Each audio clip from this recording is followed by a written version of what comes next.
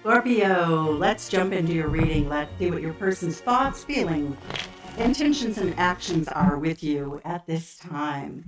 Your person thinks that you are incredibly competent, capable, that they would like to be on a ship with you, floating in the water, feeling as though they have a great partner. The Nine of Cups, eat, drink, and be merry. It's a joyful card. It's all about live for today, you know, we'll worry about tomorrow later, but live in the moment. It's joyfulness, it's happiness, it's wish fulfillment.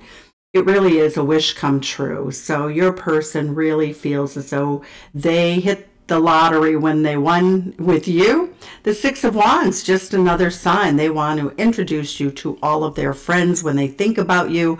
They are talking about you. They're they're really very sort of thrilled, you know, when they think about you. You just put a smile on their face. In terms of their heart space, your person is in a conflicted situation, they see you as the ideal partner. You're the Nine of Pentacles, pre Empress energy. This person feels in their heart space like they're trying to ward off love, they're trying to fight it. You know, they're trying to think of all the reasons that they shouldn't be in love with you. They're trying to think of you know, how do they stay grounded? How do they stay logical? How do they keep their lives above water? Because we do know that this person has had a rough go of it in love. They're very conflicted. It's internal conflict. It doesn't have much to do with you. In their heart space, you fit the view or the paradigm or the, they think that you are the perfect partner. They know that other people are wanting your attention. They know that, you know, in their heart space that you may not be of an energy to date them exclusively until they can give you reason to do so. They also feel as though they're keeping their options open. So their heart space is closed off in my viewpoint right now, but you know what? It's not unusual especially in a new relationship. If you've been dating this person for two years, then, you know, that's another matter. But right now, if this is a new relationship, your person's almost trying to fight off their feelings of affection for you. It does look like if they are, um, if you're new in the relationship, they are still entertaining other people, talking to them, and so forth. Your person right now is really studying you. This is a card of almost like espionage. this looks like a Navy SEAL or somebody in a hoodie here doing uh, reconnaissance work. And so, in terms of their intentions, they are watching you very carefully. I feel as though they drive by at night, which of course gets into that emotional area. You know, they feel conflicted because while they may be dating more than one person or they may still have feelings for somebody from the past. They really don't want you to have that. Their intentions are to watch you very carefully. This person is not always good at knowing how they feel. When we get this intentions card though, I don't like the 7 of swords. The intention is is that they wouldn't necessarily tell you a lot. I feel as though also they're very comfortable going silent with you. And they leave it up to you to sort of figure things out when you would talk to them or text them, they would be very happy go lucky. And that's, this is an intentional set of actions. So they're very conscious of this because they're intentionally working life, doing things the way that they do them, which does not seem very compatible to a successful relationship. So I'm just going to say that. That's my opinion of what I'm seeing with that energy. When we look at their actions, Scorpio, we see the three of coins. They want to collaborate with you. Look at you've gone as the relationship goes forward here over the next several weeks. We see your person is in this very collaborative mood. That's like, honey, let's figure out what we're going to do for dinner. Let's get paint chips at Home Depot and see what what color we're going to paint the guest room or the baby room. But they see you as the empress. Their actions are that they're treating you as an empress. They do have remorse and regret, though, let me tell you. You know, this is all going on simultaneously, but it is a developmental. You know, we don't develop actions until we've been through these other three steps. Your person has a lot of remorse and regret.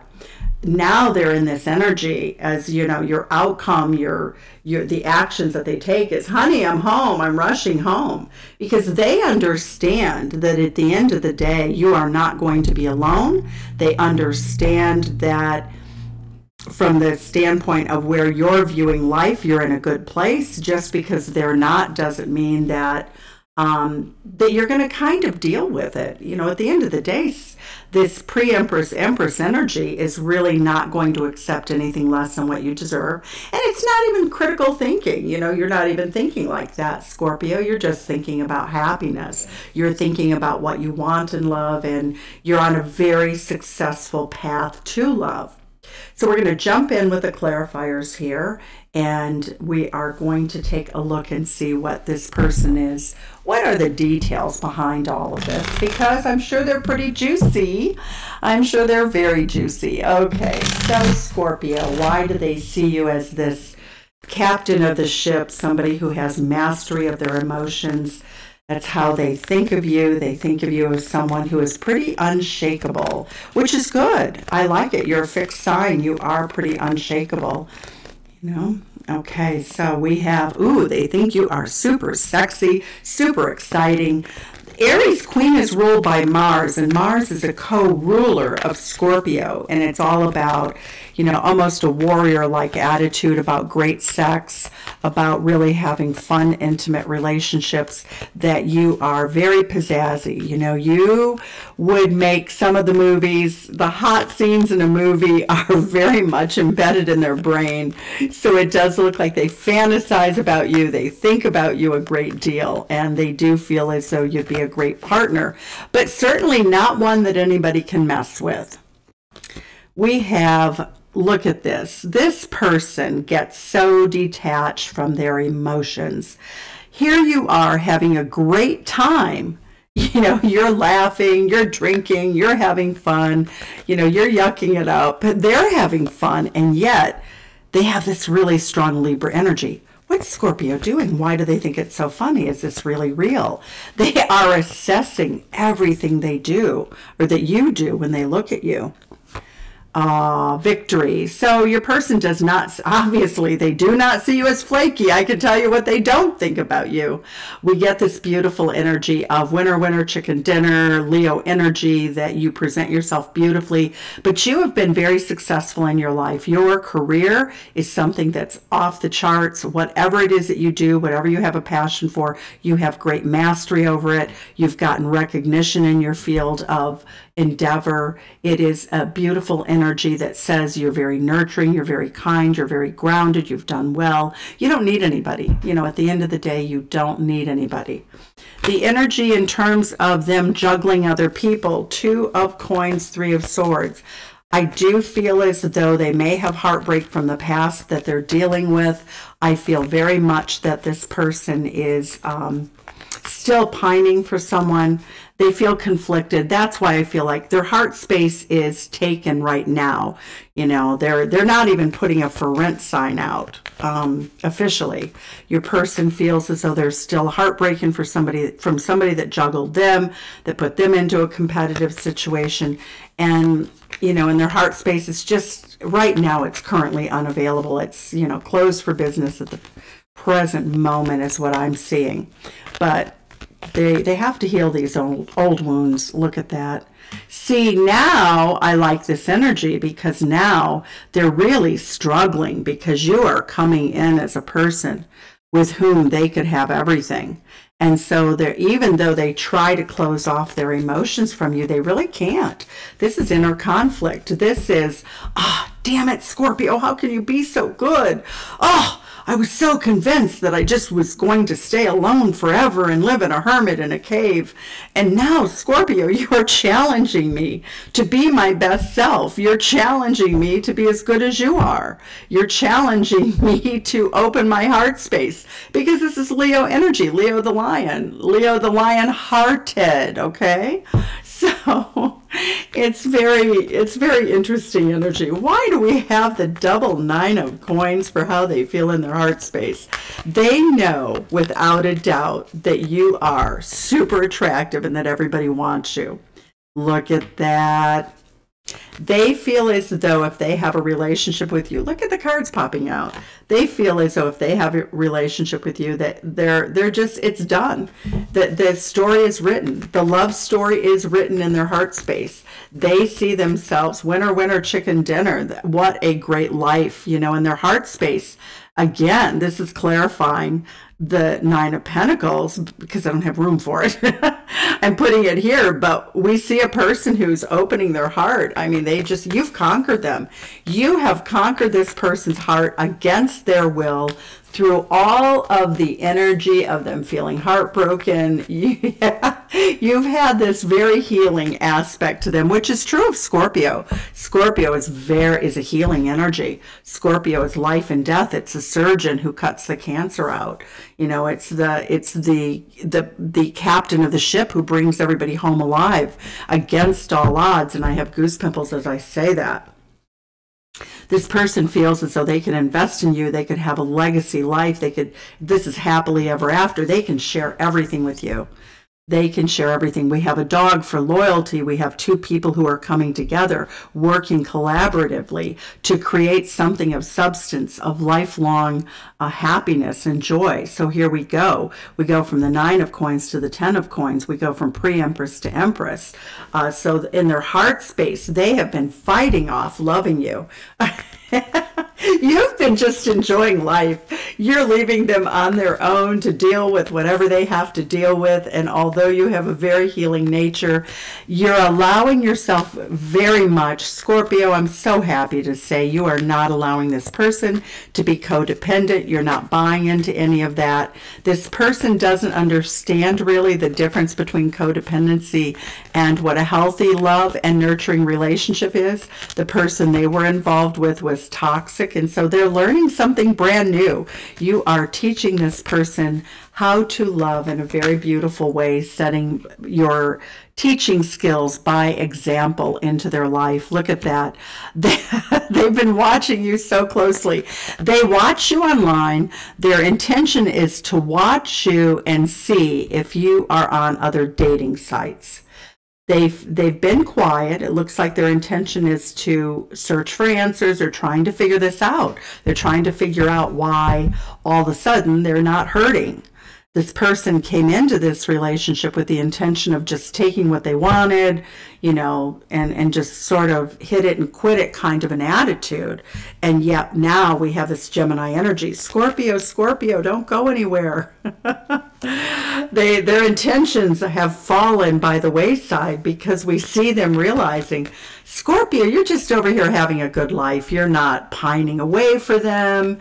You're not in the energy that says that you're going to change your life. Your feeling is very much one of empowerment. The Empress doesn't chase. The Empress stays still. The Empress does what the Empress does, and everybody else has to figure themselves out.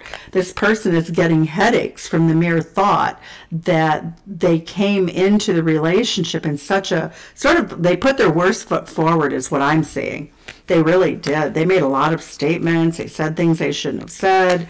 Now they're sitting here pining away, thinking like they really messed this up. So their intention is to try to get this wheel of fortune to turn in their favor. They're very hopeful that the, the wheel will turn and the, ah, there we go. See, proof positive. They are just trying to find answers on how to turn that wheel and you know what? We do have a hand in our destiny, you know, the timing.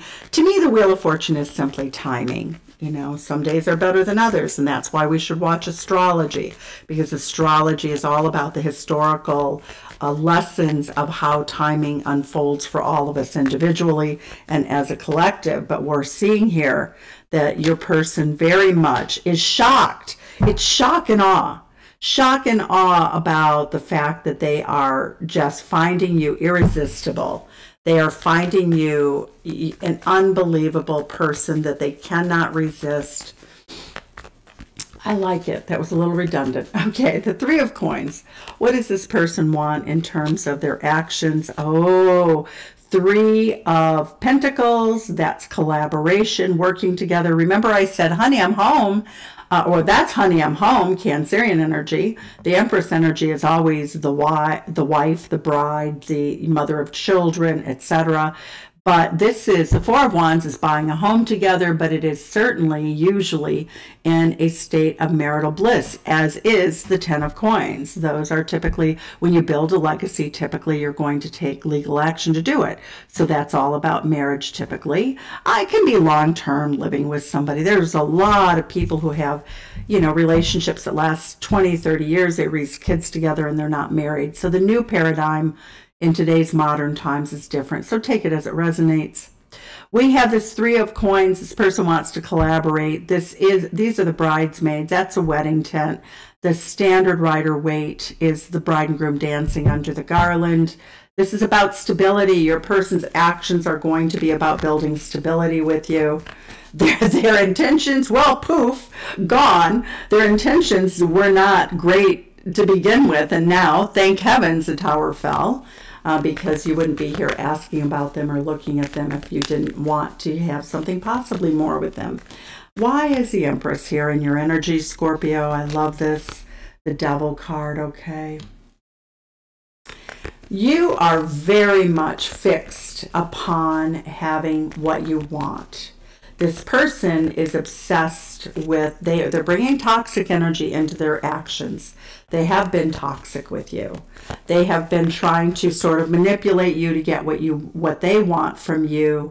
They are very sexy but again this is their energy, not yours. You have no responsibility in that. Let's see if they're going, you know, they have remorse and regret right away. See, see, they, they really are understanding. Why do we have the Nine of Swords here, please? Give us information about that Nine of Swords. The World card. Oh, they're closing out their toxicity because they know that you are not going to invite them in. See, there we go. There's proof positive. They can't say, honey, I'm home to you, not to you, Scorpio, because you're over here. You know the scoop. There's no way they can trick you. There's no way they can control you. They have to. They're in this remorse, regret, losing sleep because they tried to be manipulative down here with this energy of, well, I'll just come in and take what I want. The beautiful Empress is here. I'll, you know, I'll plunder the cabinet, so to speak. And here, you know, they really see you as a person, but this person has control issues. I want to say right now that this is not shade on anybody. Anybody who has been through a trauma has control issues. When I see the devil card, I don't freak out as much as a lot of, well, not that a lot of people do, but my take on the devil card is very much this is a person who feels as though it has to be their way or the highway so that they feel safe, okay? And they're very attractive. This person is worthy, but you know, the devil is a fallen angel. So we have to remember that and we have to have some sort of grace. And you do, you have so much grace about this. And so what's what is happening is this is a love story sh- that should be held up as a shining example of what to do and what not to do, Scorpio, because you are maintaining who you are. You're not getting caught in this. You're the empress you know, you're looking down at this like, yeah, not today. No, thank you. I'm going on with my life. If you're having a problem here, that is your problem. Work it out, you know, and you're moving forward with your life, but their actions are to want to catch up with you. You know, they really want to say, honey, I'm home. And here they are, you know, and they're in this energy of feeling like they're drowning because they're in a relationship that in which they're falling in love, you know, but their actions are there. It's like they take action to step forward and then they mess things up, then they have remorse and they regret. You're they're like on a uh, what do they call it? A hamster wheel, a hamster wheel. So here's the beauty of it. Your person is actually going to learn. They are learning from this. You're dealing with somebody who has some some significant emotional intelligence. They're really a good person. They understand now as they go through this process of the of the way they're you know the way they're going to really operate with you is they're going to calibrate to you which is appropriate. You're healthy they're coming out of this heartbreak you know heartbreak hannah kind of energy. Heartbreak harry heartbreak hannah but they're now going to get settled in a very healthy, happy way in this beautiful Virgo energy, getting to know you, getting to know all about you, but actually getting to know me, getting to know the good part of me, getting to know the part of me that, you know, getting back to their healthy self, doing the work. They are so smitten with you that they are doing the work, and that's incredible. you know, sometimes people can love us and they don't even know how to do the work. So sometimes we like to believe, you know, the Disney, well, I don't want to, DIS, you know what I mean? Uh, sometimes we get caught up in this feeling like, well, if they just loved me enough, they could overcome anything. And that's not true. You know, it's just not a true statement. You know, sometimes people are caught up in their own stuff. So, anyway, sending you love from Chicago. I'm going to leave it there. Bye, Scorpio.